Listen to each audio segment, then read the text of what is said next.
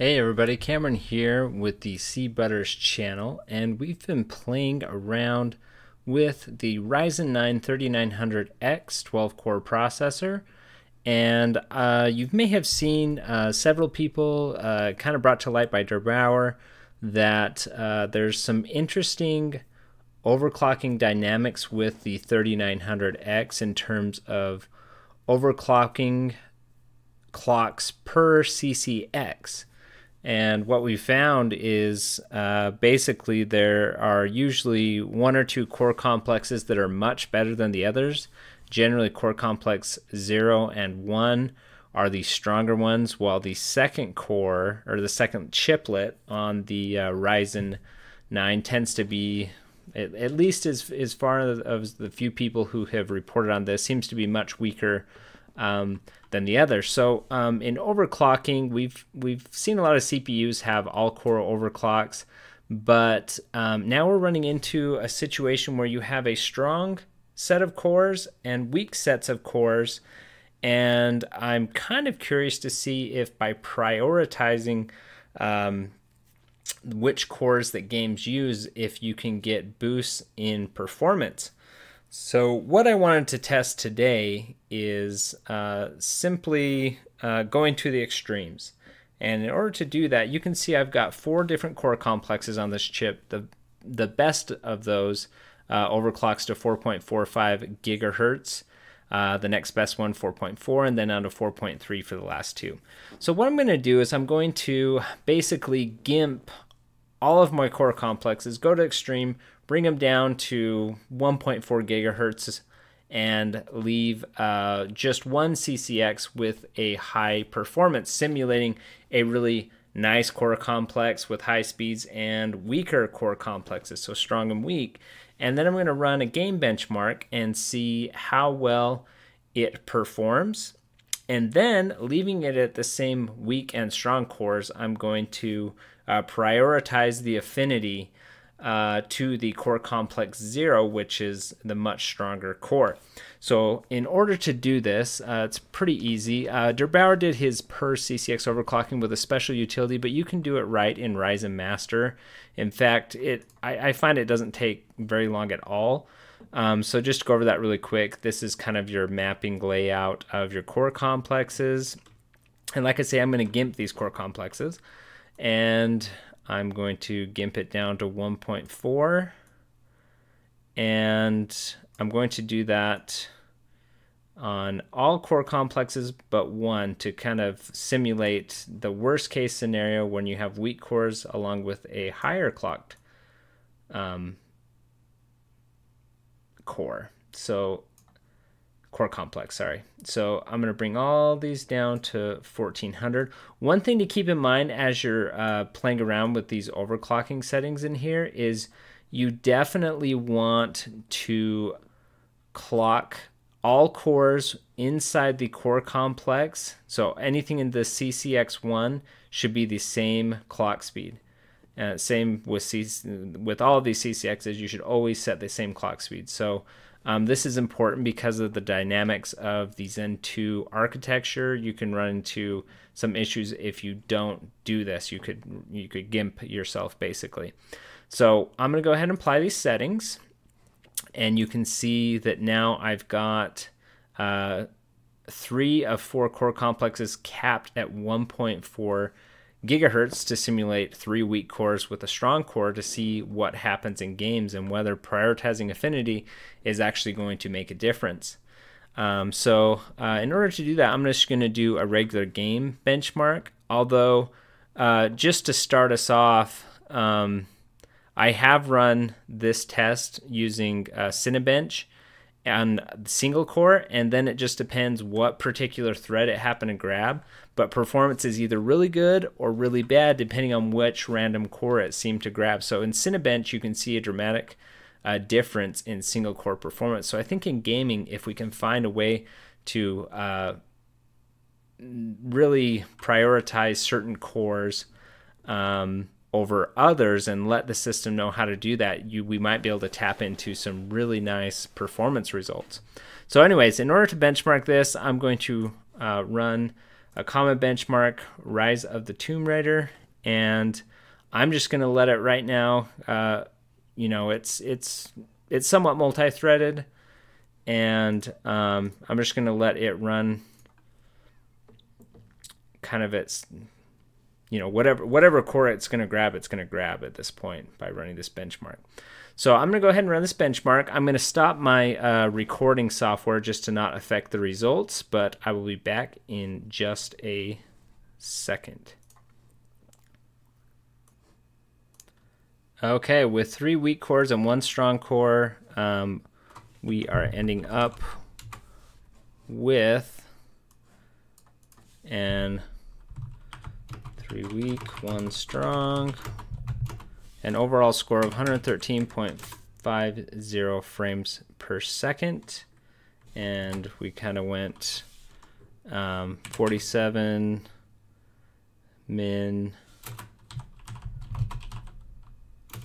225 max 27.6 min 128.41 max and uh, a 46.8 and uh, a 119.44 max. So that's kind of our baseline. So now what I'm going to do is I'm going to use a program called Process Lasso. And I'm going to go and find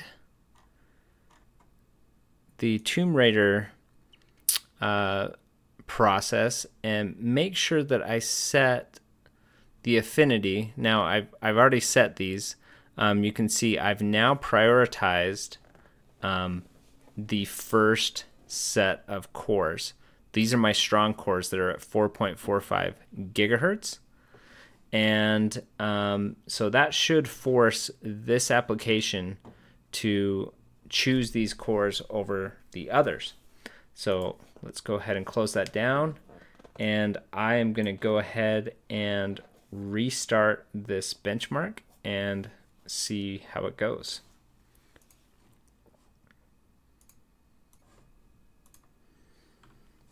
Okay, so some dramatic results here. So when we force the process to run on the strong core, we get an overall of 173.79 frames per second, which is up from uh, just Windows choosing 113.50.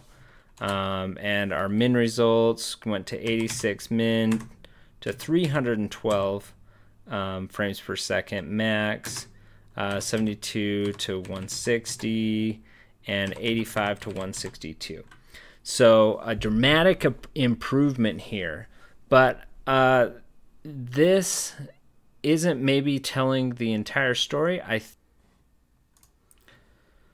okay, so we've we've kind of proven a point that uh, Windows does not know how to prioritize a core complex that has higher frequencies than one that does not. Um, and uh, basically what we're, we're able to prove in that test is, you know, by forcing applications to run on certain cores, uh, you can make things run faster. We saw we went from um, 113 frames a second average to 173 frames per second.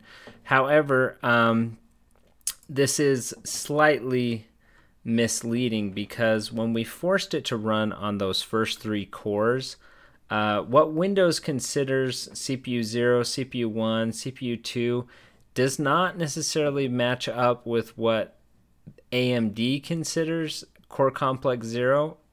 Cores 1, 2, and 3, I mean, those don't, I mean, there's 24 over here because it's threaded.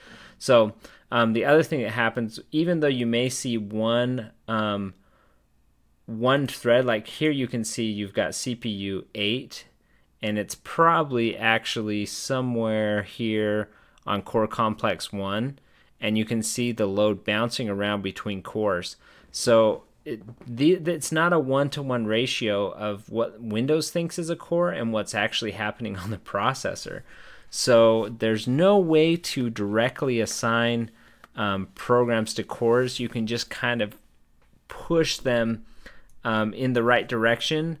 Um, so it, it, there's there's interesting dynamics going on here.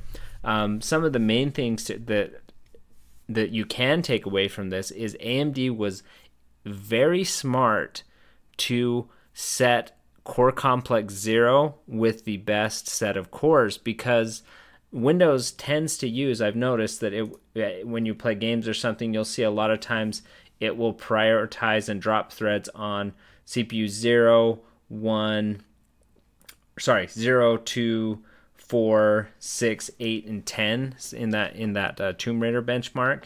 And that rather than using you know CPU 12 and CPU 20 so by just default and almost sheer luck most of the threads end up on the first core complex. So that is a great move by AMD because you know you're going to prioritize performance just just inherently because it seems that the Windows scheduler is not aware of core complexes. Maybe maybe it is, but uh, what I'm seeing here is it doesn't seem like like it is. It's capable of using them, of course, um, because otherwise, what would be the point of having all these cores? But um, it there's no way to prioritize which cores are being used. So if you if you could force um, all of the threads of a game onto the first core complex, you would get a boost in performance. There's no there's no doubt in my mind.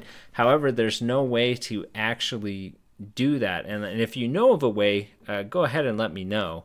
Um, I was do brute forcing it by letting the application only run on three cores, which by default put it in here on core complex zero. But I but there's was not a great way to specifically say, hey, use this core because it's faster. And it could, you know, I can think of a few ways that that developers, uh, game developers, it, it could um, maybe take advantage of this. Maybe they could run a quick benchmark on every core and test the speed of, of each core before things loaded up. Just, you know, a quick quick test to, to see performance per core and then drop the most high priority game threads on the cores that they see are strongest.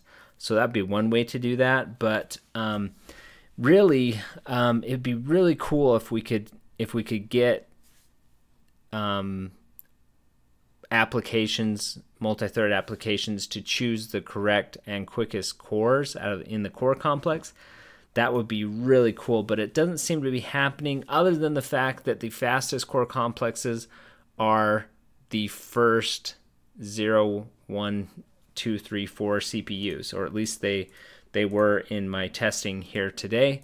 Um, but that said, the the CPU that it shows the thread on, it still bounces around within that core complex. So it's not directly one to one there. So um, definitely some improvements could be made, but and and we definitely showed that uh, having a stronger core and then moving the threads to that stronger core complex um, can help performance. In reality, I don't know how effective this is because uh, you're you're kind of by default going to have most applications start out on the first six threads for the most part. So it's I don't know. It'd be it'd be interesting to see some more testing on this. Um, but anyways, I hope this was maybe useful information and can get us thinking about ways that maybe we can do this um, differently. I don't know if there's a software application like Process Lasso where you can not say, "Hey, only run these cores, but say, hey, use these cores, but also use the rest of the cores if available, but prioritize these ones first. Um, I don't know if that's that's out there. Um, let me know in the comments.